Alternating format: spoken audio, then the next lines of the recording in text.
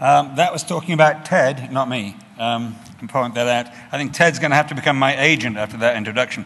Um, listen, we've got 10 minutes. I'm Norman Stone. You have 10 minutes. Let's make it work. I want to be helpful. I want to do a bit of self criticism and, and, uh, and scrutinize where we're going.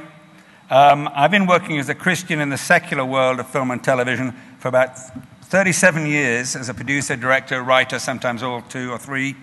Um, and you probably don't know me. I certainly don't know all of you. And if I was going into a broadcaster or a film company and they want to know, they want to employ me, I'd show them a little show reel. So I figured, out of sheer honesty and courtesy, I should show you 90 seconds of what I show them. So let's roll the tape if we can. Thank you.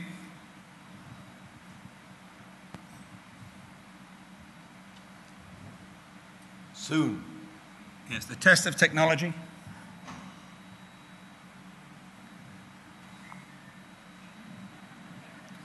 Is This my is- son Robbie up there?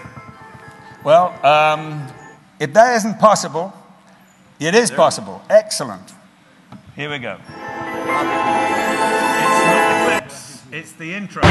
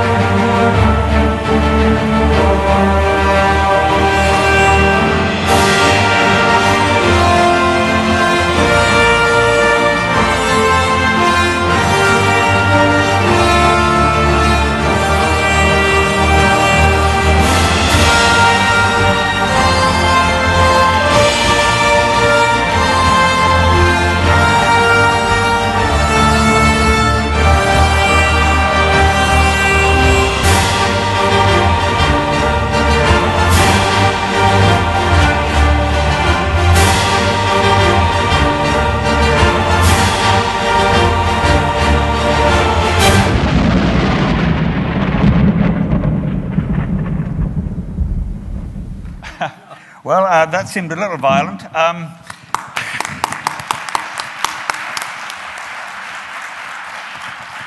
I, um, I was going to apologize for the violence, but I think I won't because it's part of what I want to say. I mean, one of the main things I want to leave with you in seven minutes or whatever I've got left is that I think we should communicate to the world as it is, not as the world as we would like it to be in an ideal world. I always think that when Jesus told the parable of the, uh, the Good Samaritan, a man went, came forth and went from Jerusalem to Jericho and fell among thieves, etc. Sometimes we'd really want him to meet nice people on that road and have a nice talk and share a sandwich. He didn't. He got beaten up, he was left for dead, and the people that Jesus was talking to, or were talking to at that time, knew that road, knew it was a rotten place, knew it was bandit ridden, and he communicated. Let's please wake up to the real world and make good movies, and I'll say a bit more about that in a minute.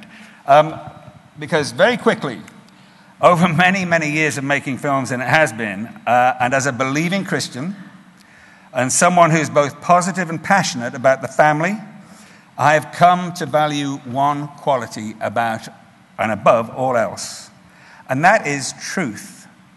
And what Ted said about story is absolutely right. But truth without story is wrong, and story without truth is wrong, rather. This is our central weapon.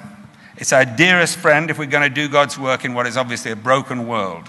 And I'd like to leave that with you. It's something that Christians don't seem to be very good at all the time. And there are two great tendencies that we have. Let's get honest with each other. Um, the first one, very briefly, in the so, uh, okay, I'll call it the so called Christian film industry. It's a strange thing. There is something called the Christian film industry. We seem to want sweetness and sentiment and safety rather than necessarily hard edged truth all the time. Now, I, knew of, I heard something yesterday about a man who made a film in a ghetto, a really tough area. It was a tough film, but it was a good film with a great message. And a Christian distributor said, I'm sorry, I can't take that because my audience wouldn't like the setting. Now, I think we should wake up. That is not acceptable. Um, You don't show everything to everybody, but you've got to at least face up to the world as it is. The second great tendency we have, and this maybe strikes a little closer to home at this conference. Um, I've got a green light. Um, the second thing is beware of propaganda.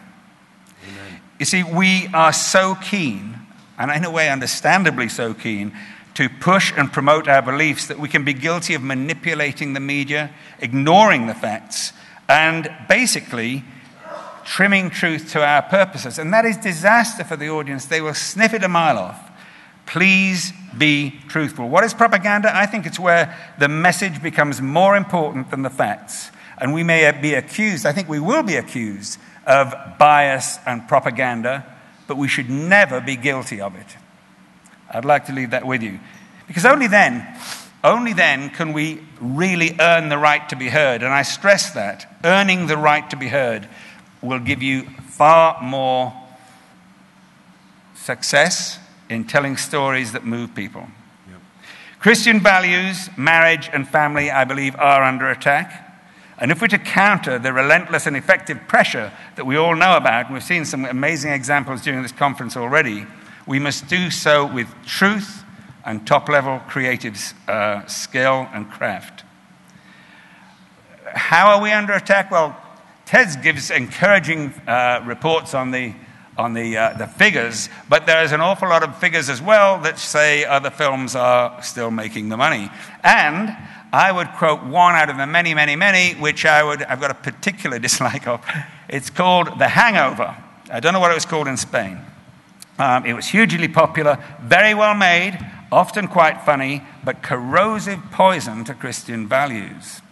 It's about uh, people, a bunch of friends going into Las Vegas before they get, uh, one of them gets married to a lovely lady, and of course, everything goes wrong. But what, what were they on about? They were saying, what were they saying? They were saying, you know, really it's about excess, wild excess. Do what you want, when you want, screw as many ladies as you can, and then get married.